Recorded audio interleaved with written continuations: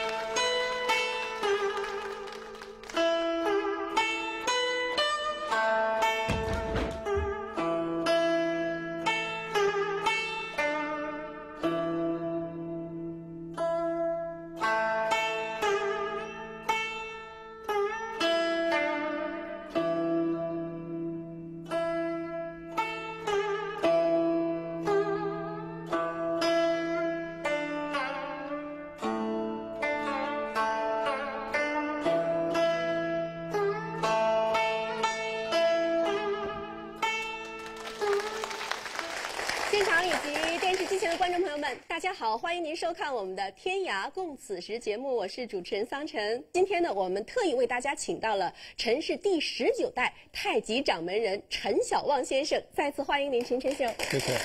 太极，一门蕴藏中国历史文化底蕴的武功绝学，目前全世界练习的人数超过了二点五亿人，成为世界上参与人数最多的武术运动。陈氏太极拳由河南温县陈家沟人陈王庭在明末清初时创立，以刚柔并济、动静相间著称。它既可以防身，又可以养生。陈小旺是当代陈氏太极拳的代表人物，他用太极功夫征服了世界，也让陈氏太极拳声名远扬。陈先生哈，您看今天呢，我们现场来了很多非常喜欢这个太极的朋友，但是一上来呢，可能就想给您出一个难题。可能很多朋友呢，虽然喜欢太极，但是并不知道什么是真正的太极，而且应该如何正确的来练习太极。我们人体的运动体系呢，是从形成丹田为核心，丹田的肚脐平着三指，这是核心在里边。不在肚皮外边，嗯，这个部位属气海，嗯，那么首先维护、保证这个气海，先天之气，人们感到这个气很充足，那么精神饱满，嗯，如果感到这个地方很空虚，非常疲劳，哦，如果当这口气散了，人的生命就不存在了，哦，我们开始练功，保养这个气。嗯，用什么方法呢？各个肢体、各个关节，嗯，做的正确，能正确支持这个部位。比如说，我站到这个地方，大家看啊，这样支持丹田了没有啊？没有支持，形不成这个海心。我站正了，这个地方对了，我这样支持了没有啊？还不够，对不对啊？每个地方。每个地方做的对，现在会不会好一点？哎，大家每个关节做的对以后呢，就保证了它的核心地位。然后呢，通过它再分配出去，分配出去，啊，八面支撑，不前不后，不左不右，形成这个海心。不光是丹田这个海心，心理意识也是八面支撑。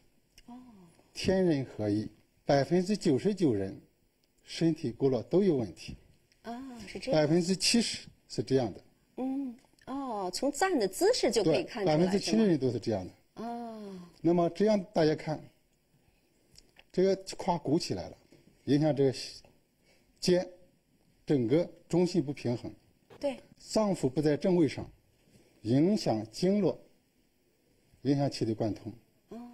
就像汽车一个轮胎有问题了，一开就走斜，哦，不能走直线，跑对不对？偏了，是不是？这站桩是预备式，哦，预备式就像修理汽车，哦哦，形成单腿核心以后，嗯。这些轱辘基本准确。嗯，那么继续各个部位继续支持丹田，动起来，以丹田为核心移动、全动、节节贯穿、一气贯通，这就是一个运动体系。动多一点，动少一点不怕，嗯，这叫误差。运动当中的误差，我们练拳一遍一遍的练，就是为了缩小误差。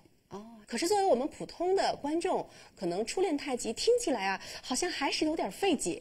哎，尽管您刚才做了一些动作的展示，这样我们接下来的时间，呃，交给现场的观众朋友。如果你们对太极在练习的过程当中有什么疑问，可以赶快抓紧时间请教我们这个陈先生，好吗？大家喜欢了可以上来对呀。有什么问题？陈老师你好，我想请问一下，所以我们年轻人是，我以前听我一个朋友说，说年轻人是不是练太极拳不用太早？他们跟我说大概在四十岁、四十岁以后去练。那您这觉得这个观念是不是对的？还是说做一个入门大概需要多长时间？因为我是非常喜欢那个太极拳，因为我也挺经常练那个武术，但是对我们的传统武术太极拳确实非常仰慕。然后想请问一下，这个入门时间大概有多久？第一个问题，我告诉你，陈家沟的人过去十几岁、二十岁就上上前方打仗了。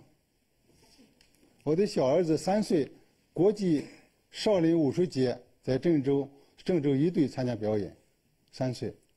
陈家沟的人过去练武是为生的，或者去打仗或者保镖，十几岁、二十岁就出家了。入门，你开始学就算入门。第二个就是有相当程度的入门，相当程度的入门呢，就是你明白这个运动规律和运动体系。你练的时候呢，一步一步真正在找出自己的误差，在缩小自己的误差，这是真正的入门。只要感兴趣，随时随地都可以学，只要学了就算你入门了，是吧？对好的，还有什么那啊？这边有一位先生，太极拳也是一种这个体育运动，它和普通的体育运动有什么区别？比如，呃，平平常那个老百姓的运动，打篮球和跑步，练太极拳呢，第一讲究是自然，把你自己的体能用上百分之九十、八十、九十五，不要超过自己体能的百分之百。这第一个特别要求。第二个是深入，第三是寻找它的运动体系，达到精益求精、一气贯通。这是和其他运动可能有不同的地方。这样吧，刚才呢，陈大师您也说了哈，其实通过每一个朋友他在做运动的时候呢，您可以找出他这个动作姿势是不是正确，而且可以通过他的动作判断他自身是不是有毛病，对是吗？那这样，我们就请刚才这三位朋友上来，或者还有感兴趣的朋友上来，你们可以做几个动作，让大师呢帮你们找找毛病，好吗？呃，告诉我们大家以前练过什么武术吗？呃或者是什么拳法？哦，我以前练过那个散打还有自由搏击。在这儿做你摆个几个动作。摆个动作是停停下来就行，两个人。这是我非常欣赏的李小龙的那个哎招牌式的那个动作哈停下来，停下来，动作停下来。这个动作呢也不错，但是按太极拳的看法呢，我给你动一动，你看你会感到什么样，好不好？按太极拳要求来说，这个地方呢叫顶，顶住气走的比较多了，这个地方叫丢，就是气走的不够的地方，啊，你看看是不是会好一点？跟我的手点，一，做一点，听我的手劲，做一点，搁这往下走，好，头起来，这地方开一点点。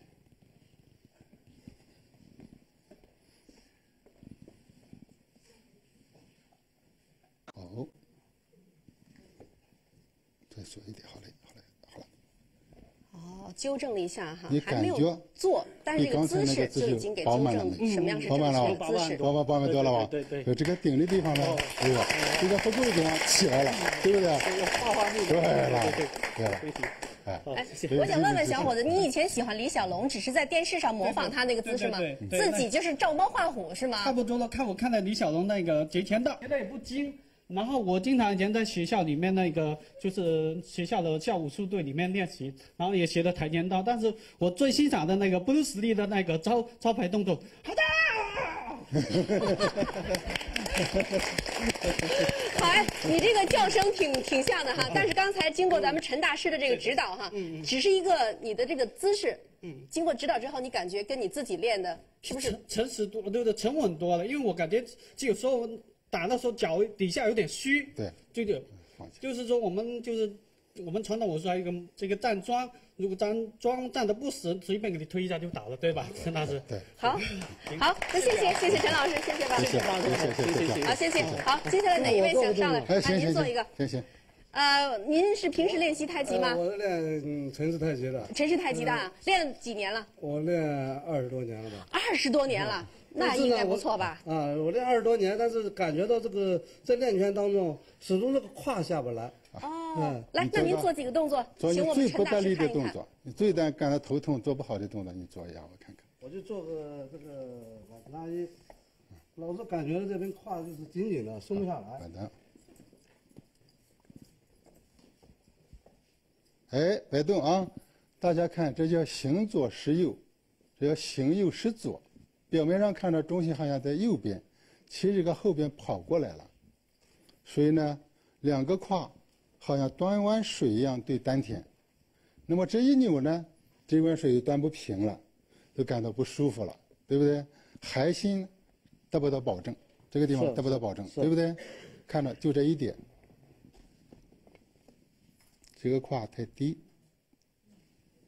往这里下就好了。好，好了，就这一点，听我的手劲啊，这个不能下，往这里下一点。好了，坐，好了，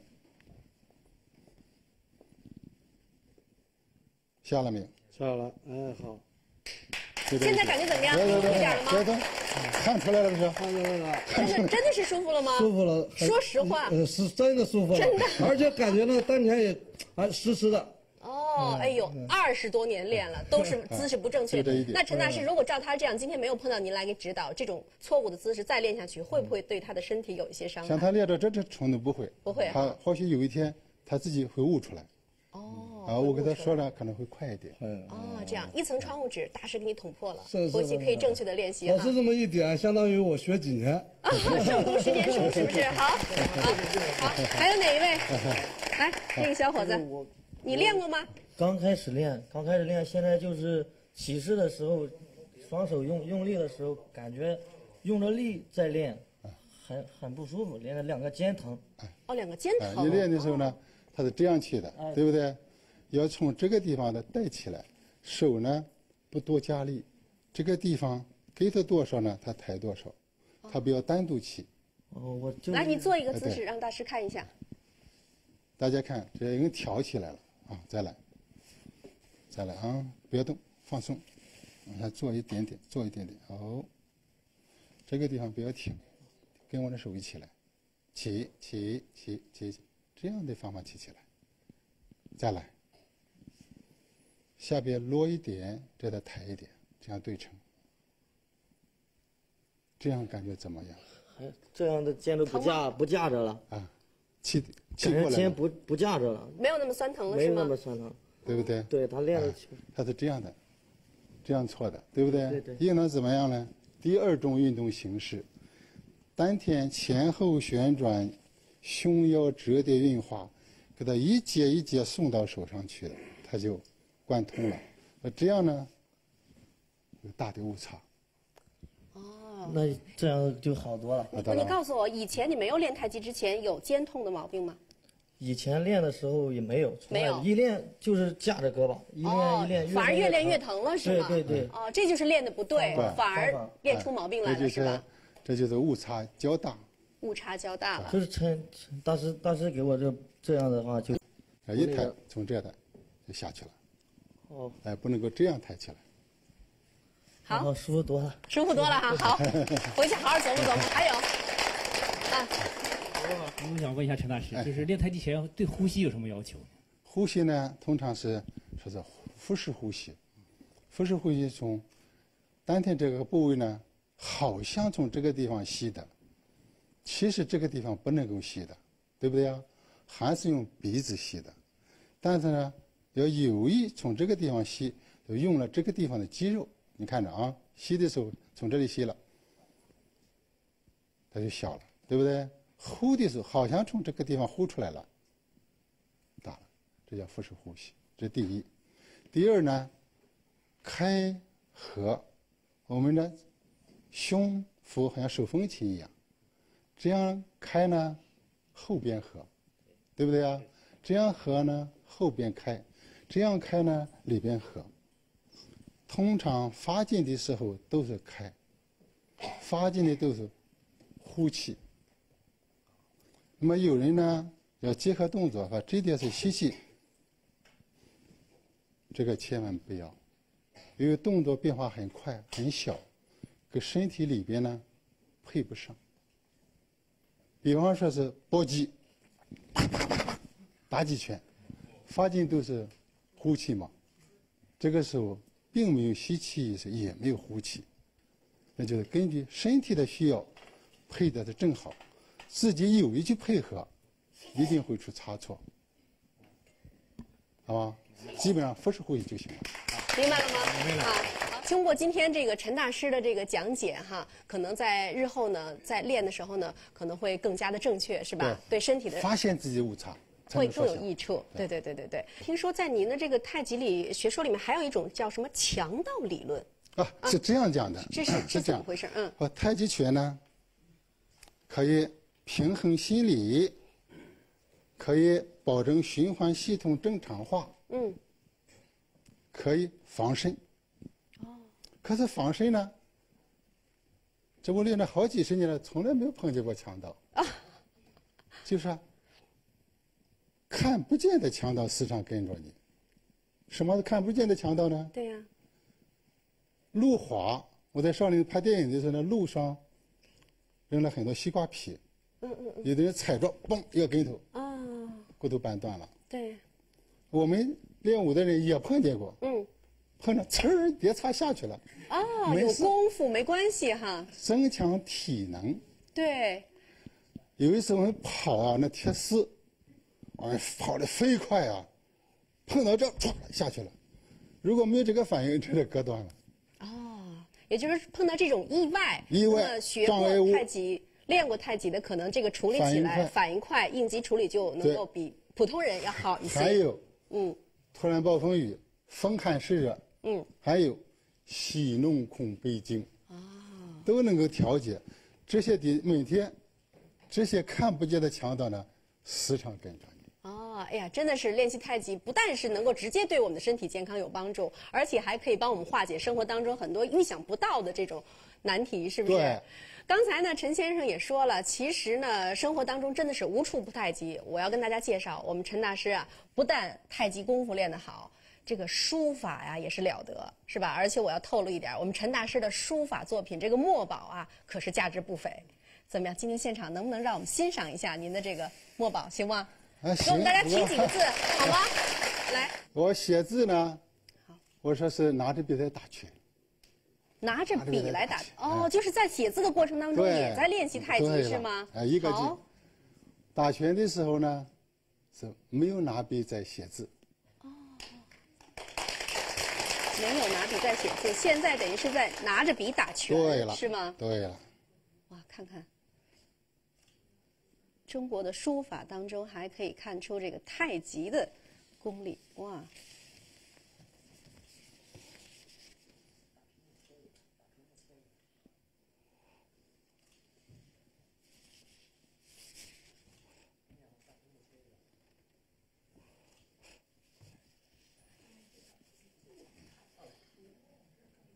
来拉。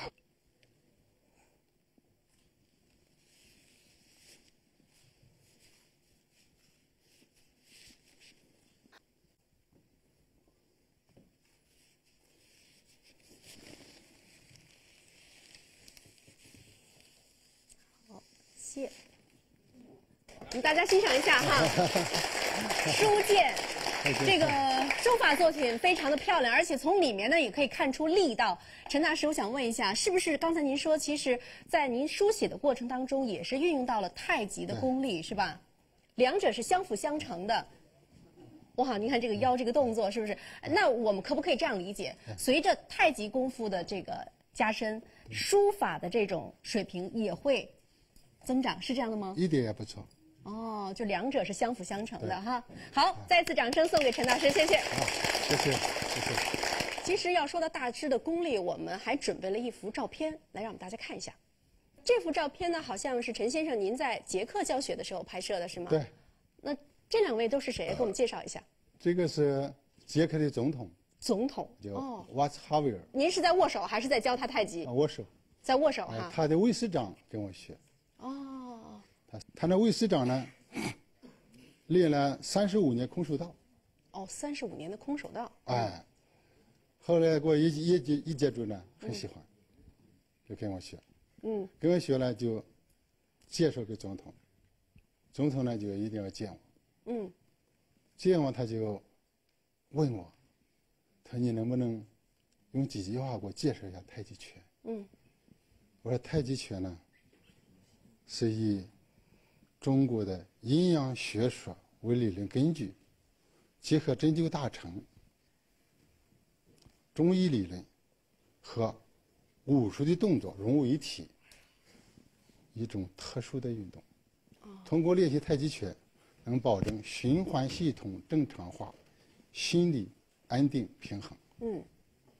他是这样吗？我也学，马上我也学。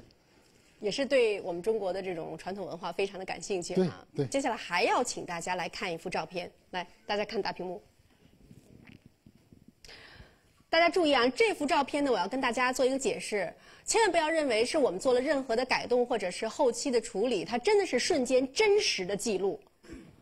这个是在一个什么情况下拍摄的？您怎么一掌把那个人都打得腾空飞起来了？这是很早了，八几年的事。嗯。而且我一个一个学生，他过去是摔跤的。哦哦。摔跤的，那么他就抓着摔。嗯。抓着摔跤，我这样唰一发他起来了。啊，就这样一个一下就把他打得腾空而起了哈。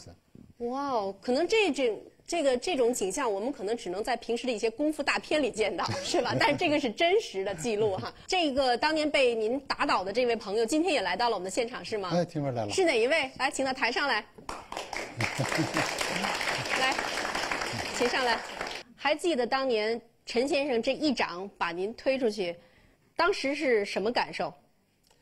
这张照片呢，是我第二次给陈老师教授，因为我过去是练长拳，尤其善于摔跤，那时候也年轻点。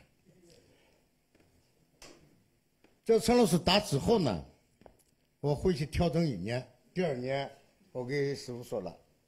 我说我这个摔跤动作如果用上去之后，那练太极拳的不中。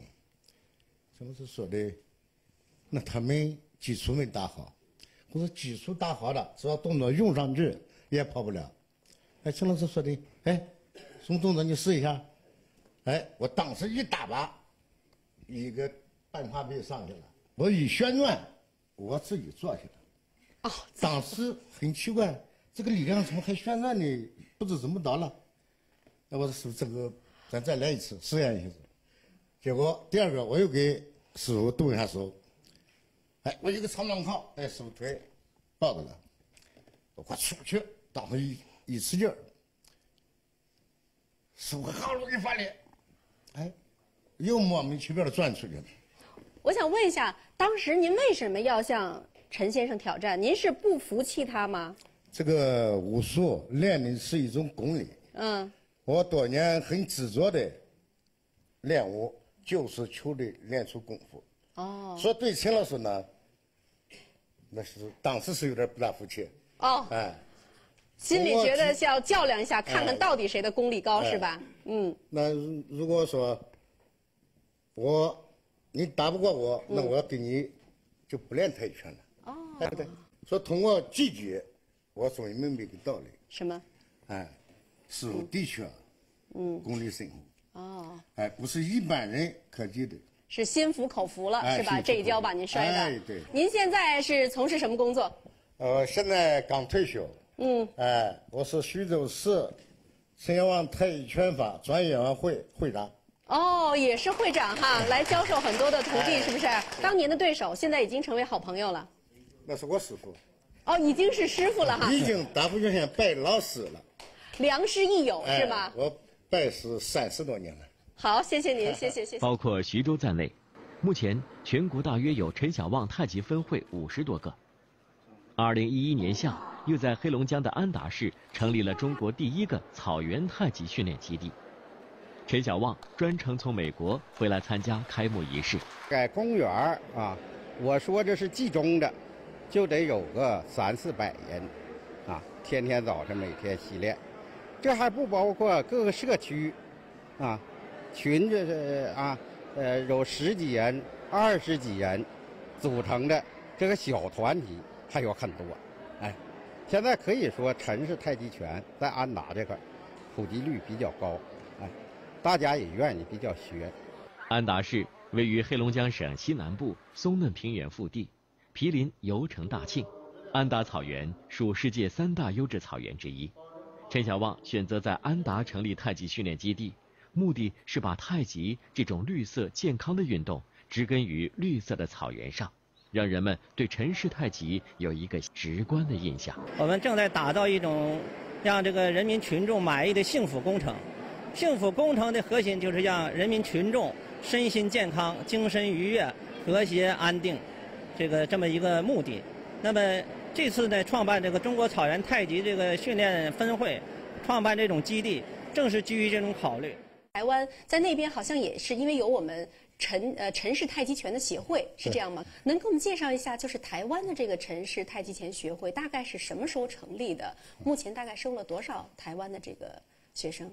这个协会成立大概有十年了，哦，十年了。哎，学生平时的学生大概一百多。嗯他举行这个活动呢，其他城市都来参加，嗯因为是全省的比赛套路，嗯，大家参加比赛都要练三十八式，哦，哎，不限于这个协会。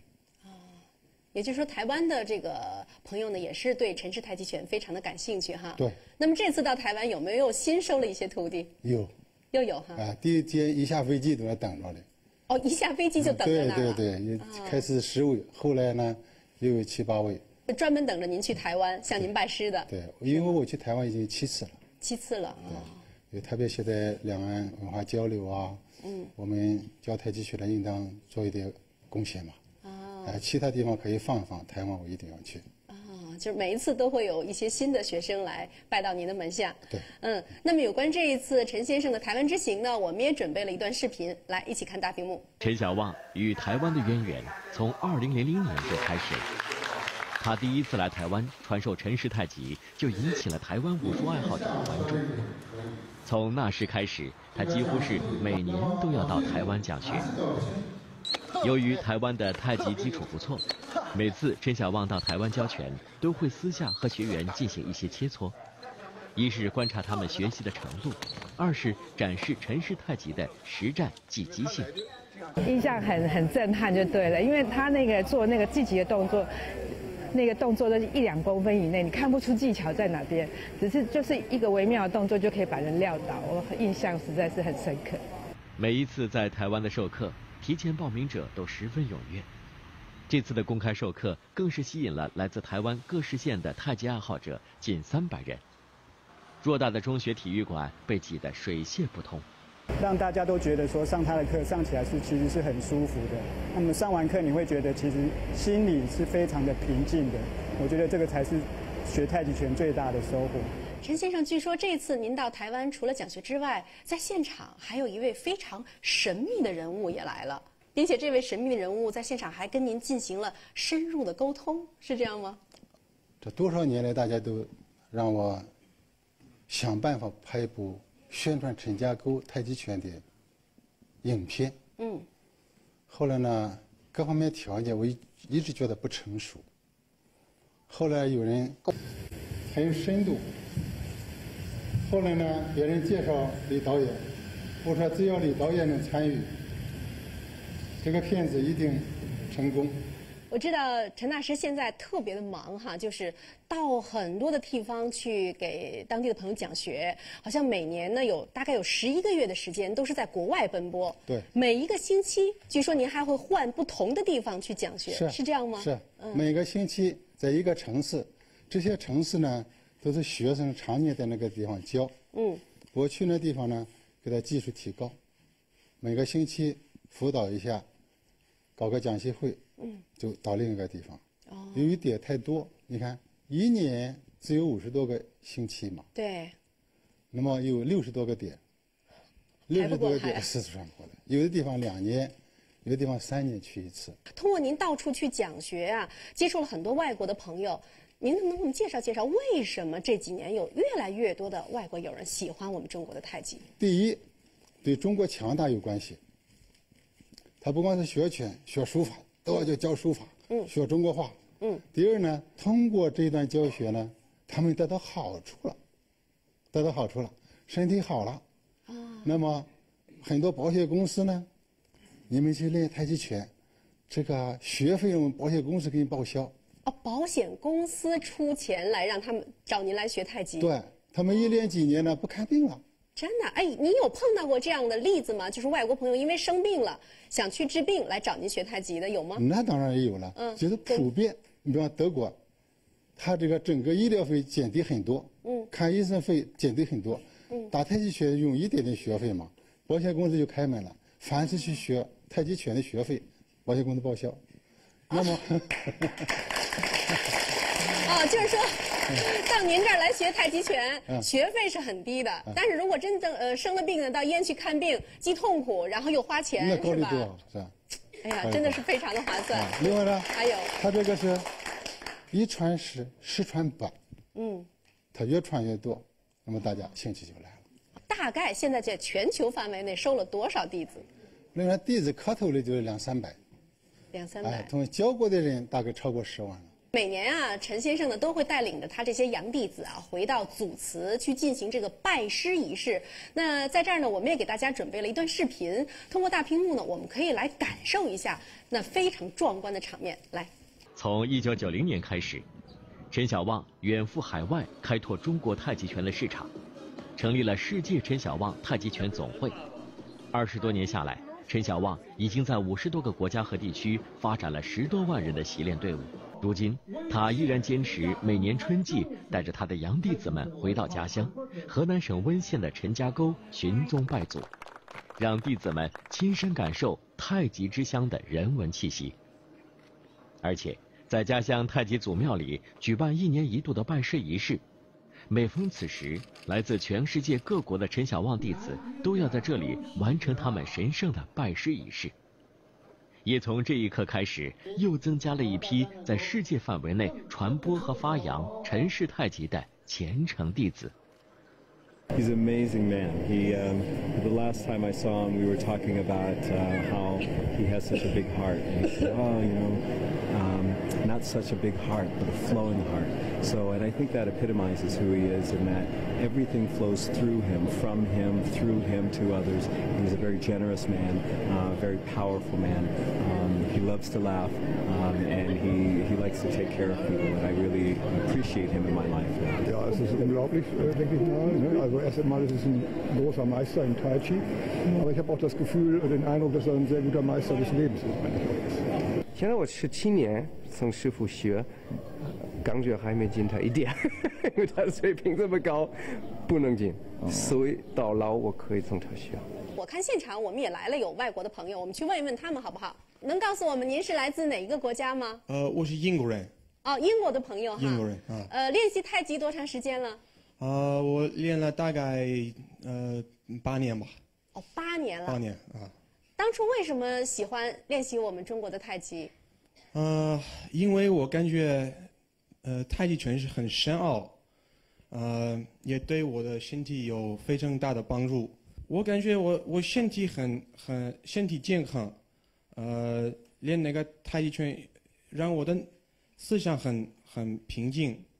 所以给我讲，有一个电影导演，嗯，叫李安，李安，第一位获得奥斯卡最佳导演奖的华人电影导演，多次问鼎各项世界级电影大奖。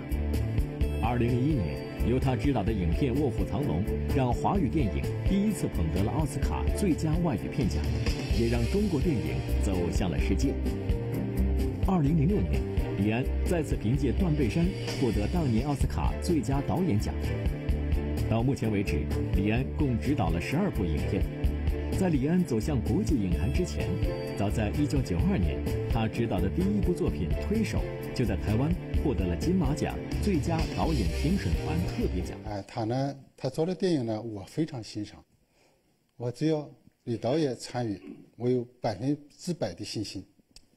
后来呢，通过朋友呢，李导演在百忙之中的拍片，从高雄、台中那边专门赶过来。赶过来，下午教学还没教完，嗯，我们就谈一谈，教完学以后一起吃饭，嗯，吃完饭又到茶馆喝茶，也谈到大概十一点半晚上。他不光是对太极影片有兴趣，对太极拳也是非常有兴趣。本身也感兴趣哈。李安导演呢，我们大陆的观众朋友也非常的熟悉，呃，很多非常优秀的电影我们也都看过。对。那么早年间呢，大家知道他也拍摄了一个电影叫做《推手》，那么就是描写。太极拳的和太极有关的，对，就是看过那个电影，我对他的导演水平很赞赏。嗯，他拍这个逻辑性、人情味儿，嗯，拍的非常好。所以说，二十年来，很多人给我出主意说怎么拍电影，我总感到不成熟。后来听说他有兴趣，我说只要李导演参与，我有百分之百的信心，那么就促成这次在台湾见面。现场他有跟您怎么聊起这个太极的？他本人。他就说，对太极拳呢，他有兴趣，嗯，想深入了解一下。我再讲一些拳方面东西，又把陈家沟过去那些历史故事给他讲一些，嗯。后来他说这工作太紧张啊，休息不好，就把我通过站桩呢都有帮助。他说：“那你给我调调吧。”哦，他现场教让您教他站桩了，对吗？我们是先吃饭，吃完饭以后又去茶馆喝茶，啊啊，聊天儿。啊，在这谈中间呢，他说我工作太紧张，休息不好。嗯。啊，站桩能够帮助休息，就调了两次，他感到挺好的。希望两日两位呢能够早日合作，给我们带来一部非常好看的有关太极的电影，好不好？大家也非常的期待，是不是？嗯。那这样我们通过一段视频呢来看一看陈先生和李安导演现场的这个情形，好不好？来。陈小旺在台湾授课期间，正赶上李安导演在台湾中南部拍摄他的新电影《少年 P.I. 的奇幻漂流》。得到陈小旺来台北交拳的消息，李安通过朋友的联络，力邀陈老师能够在台北见上一面。两人从太极聊到电影，陈小旺也把想要拍一部有关陈氏太极电影的打算告诉了李安。大家我对陈老师是。久仰很久了，我因为拍，呃，你们有的人可能晓得我拍推手，所以跟太极拳结缘。我因为拍片跟很多东西结缘，可是我并不懂，我只会拍片。就是我我觉得中中国的这些，呃，传统的各种技艺啊、文化，不管从中医啊、武术到吃饭，很多东西都拍过，呃，都是跟我们最传统的道家。就是讲气啊、天人合一这些东西，都是有一贯的道理的。那我因为对中中国文化的这种向向往啊，还有熏染啊，所以什么东西都沾到一点。就看大家在这边，嗯，尤其有我们的掌门人一起来练，感觉非常的感动。对对，像像易经啊、道这种东西的追求，像每个人都有，大家都在修炼。还用太极拳修炼，真的是非常有意义。我自己因为拍推手有关，就学了杨氏的管式，只是有有一点感觉，这样就去拍片。在这边讲话真的很不好意思，很感谢。希望有机会跟陈老师多多学习，欢迎欢迎他到台湾来教我们大家，谢谢。我看过李导演拍的推手《卧虎藏龙》，我觉得他把那个人情。人情、武术的动作能够结合到一起。嗯，也也像钱钱大师刚才说的那个太极哲学，这个也对我的那个日常生活有有帮助，呃，人人之间的关系，嗯，所以我可以用那个太极，虽然我不是非常了解太极拳，我我还是感觉这个对我的日常生活已经有很大的帮助，啊，能够调节自对，己让我安静下来，安静下来嗯，请您到台上来给我们做几个太极拳的动作，好不好？我的水平很低。没关系，没关系。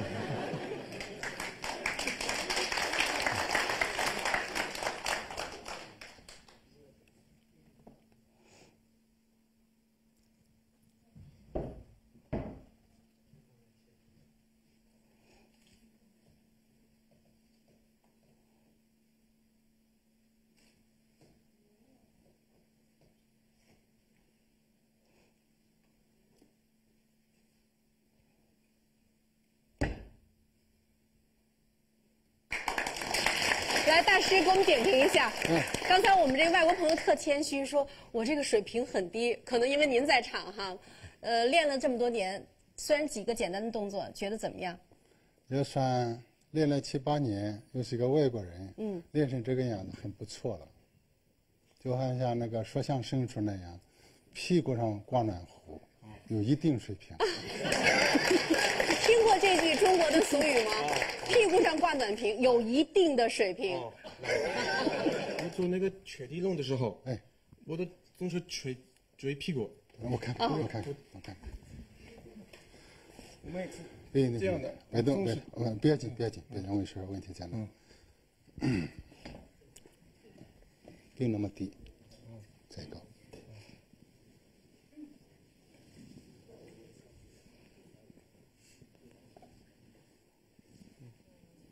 气往手上走，走了没有？屁股还撅不撅了？不撅了吧？不撅了。哎，哎，这样你就可以挂上水平了。嗯，气通了没有？嗯，通了吧？很带劲，很带劲。很带劲。哎呀，中国话很棒啊！你的中国话也很带劲。嗯。通了吧？哦。哎，你再下去，屁股一撅，哦，这就不通了，哦，对不对啊？这不通了，起到这儿，大家看啊，丹田的部位有了，嗯，那么再分配到肢体，腿有点累啊，腿有点累。松着，通了，通了没有？通了吧？好像有点已经坚持不住了。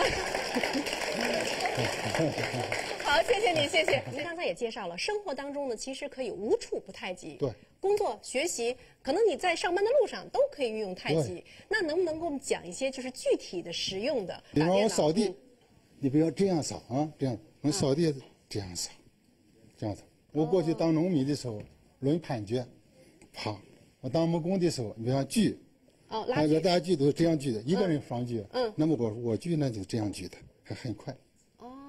哦，很快这样，嗯。哎，看奔，就核心有了，啪啪可以看。哦，也是掌握住核心。对哦，走路要掌握核心，嗯，坐办公室要掌握。对我们打电脑，经常坐办公室打电脑怎么那电？脑的人呢，他用用这个劲，先把这劲放下，通到丹田，然后呢，很自然这样打，他就不会有肩周炎，不会有颈椎炎。对对对，现在很多电脑病嘛，就是这个颈部啊会很疼，哎对，肩部很疼。嗯一放下，气丹田的海心，哦，背后耳听背后，不要紧张，这样打，速度还快，还不伤身哦，还快还不累是吧？对坐姿挺胸，然后主要是这儿要放松，是不是？加汽车加汽哎，对，开车怎么办？放好，这样讲啊，这样。你不要这样讲啊！哦，不要不要这样加。使使这个拙劲？特别是你平时很多人身家是这样，他不知道嗯坐那还是这样，这就不行。嗯，先把家正好，再做好再放松。哦放松是到位基础上，到位了才能放松。对对对你比方我成这个样，子我放松，我能放得下吗？对，放不下的。嗯，先到位，再放松。